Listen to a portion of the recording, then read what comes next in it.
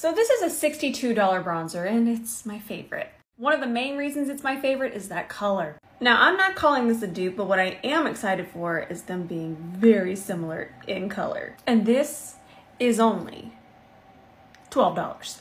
I'm just gonna place it with this brush first. Notice it's a little higher than my natural contour. The sun hits the higher points of your face. By the way, that's the Gucci and that's the Moira. So remember, I'm not calling it a dupe. I'm just saying the color is very similar. And this blends out beautifully. And I'm using a C41 to blend it out. Okay. Did we just find our new favorite cream bronzer? One of the reasons that I love this color is because it has so much red in it.